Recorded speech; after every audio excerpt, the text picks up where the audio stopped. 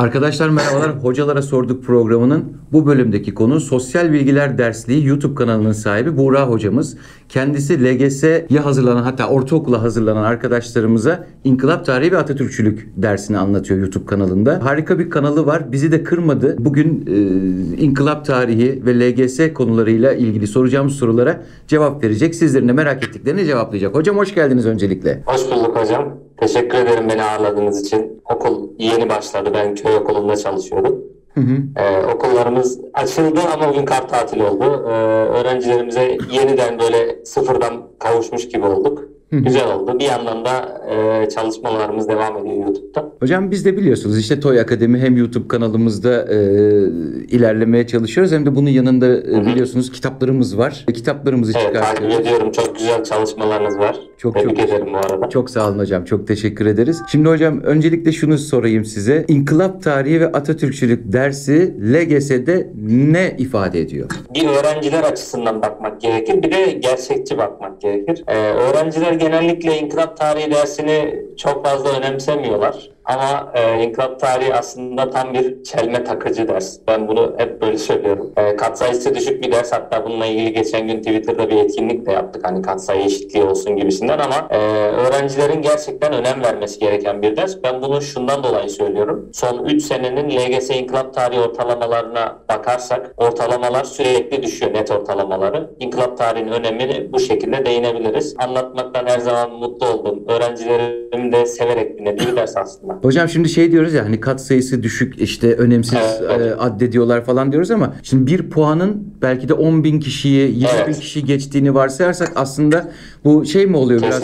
E, ne derler ona bir anda kendinizi e, çok öne geçirebileceğiniz avantajlı ipucu ders gibi bir şey mi? Aynen öyle. Nasıl telaffuz Aynen öyle. bir şey yapamadım. Ee, şöyle diyorum ben hani e, evet inkılap tarihi öğrenciler tarafından ya da birileri tarafından çok önemsenmiyor ama önemsenmezse küçücük önemsenmeyecek puanlarla belki de e, istediğiniz okulu kaçırabileceğiniz bir e, duruma gelebiliyor bu durum. Yani sınavın bütüncül olduğunu düşünürsek İnkılap tarihinde ne kadar önemli olduğu zaten burada ortaya çıkıyor. Sizin de dediğiniz gibi o farkı atabileceğiniz aslında derslerden bir tanesi. Hocam şey soracağım şimdi e, hep yeni nesil yeni nesil oldu ya sorular. İnkılap Evet, tarihinde evet. yeni nesil durumu nasıl? İnkılap tarihinde yeni nesil dediğimiz hani yeni nesil dediğimiz sorular daha çok beceri temeli, hayat odaklı sorular diye geliyor. Bunu da ben özellikle hani Türkçe, matematikte ağırlıklı olarak, fen bilimlerinde hani hayat ve temelli sorular, beceri temelli sorular gördüm. Ama inkılap tarihine baktığımız zaman da yeni nesil soruların özellikle e, okuduğunu anlama, anladığını yorumlayabilme ve bunu bilgiyle harmanlayabilme sorular olduğunu görüyorum.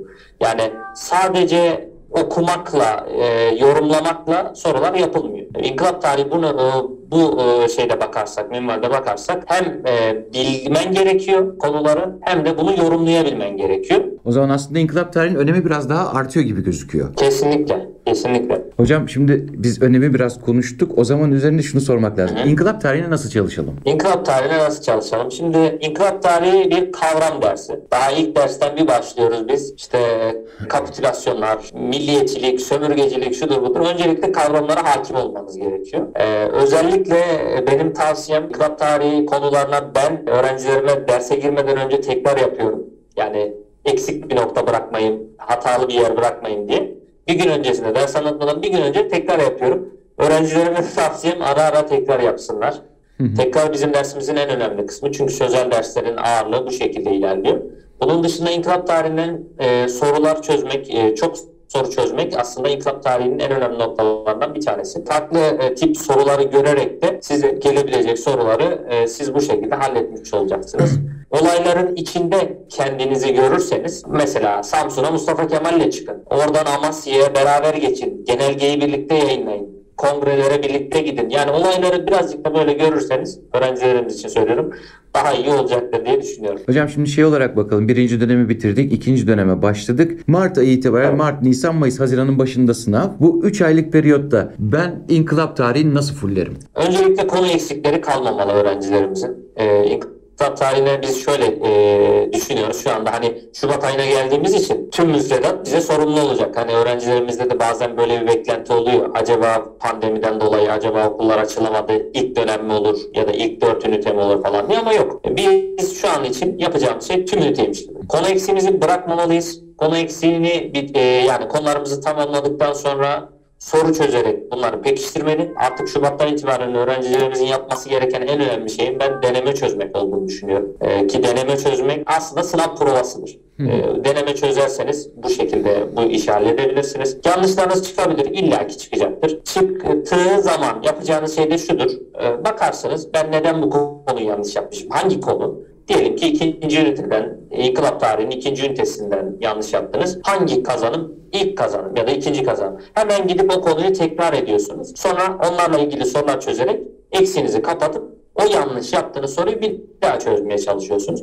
Bu şekilde eksiklerini kapatarak gittiğiniz müddetçe e, inkılap tarihi fullenmeyecek bir ders değil. İnkılap tarihi aslına bakarsanız kolay yapılabilecek bir ders diye düşünüyorum ben. Günde 30-40 soru çözülerek inkılap tarihi yapılabilecek bir ders. Tabii ki bu sorular eski tarz olmamalı öğrencilerimizin çözdüğü sorular. Siz e, sosyal bilgiler dersliği kanalınızda da konu anlatım dersi veriyorsunuz değil mi hocam? Evet, evet doğrudur. Kanalımızda yani tüm müfredatı anlatıyoruz. Ee, geç 3 son 3 senedir LGS'de öğrencilerimiz hani aktif olun hocam dedikleri için 3 sene önce başlamıştım. Geçen sene de mesela sıfırdan çektim videoları. Canlı yayınlarla kamplar yaptım. Ee, bu sene de yine aynı şekilde ekranda ders notlarımla birlikte, özet ders notlarımla birlikte beraber öğrencilerle etkileşimli bir şekilde gidiyoruz. Bu şekilde bir ders anlatımımız var. Ee, yani inşallah faydalı olabiliyoruzdur. Özellikle bu konu beni her zaman mutlu ediyor. Ben bu işe başladığımda küçücük bir kanal olarak başlamıştım. Şu anda 51 bin aboneye işte geçtik. Türkiye'nin her tarafından öğrencilerimin olduğunu bilmek beni daha da motive ediyor. Bu konuda gerçekten hani çok zorlanmama rağmen sürekli videolarla öğrencilere destek olmaya çalışıyorum. Son olarak öğrencilere ne söylemek istersiniz? Nasıl bir mesaj vermek istersiniz? Öğrencilere tamamen aslında bir şeyler söylemek gerekir ama özellikle hani sizin vasıtanız, Toy Akademi vasıtasıyla e, 8. sınıf öğrencilerimize, LGS öğrencilerimize birazcık bir şeyler söylemek istiyorum. Ya tamam ya te- e, devam ayı aslında bu ay baktığımız zaman. Kopuşlar başlayacak artık bu aydan sonra. Bazı öğrenciler bırakacak çalışmayı, bazıları sonuna kadar bu aydan sonra belki de gidecek bir başarıya ulaşacak. Ellerinden gelen tüm gayreti göstersinler. Zaten öğretmenlerimiz, herkes e, onlar için çalışıyor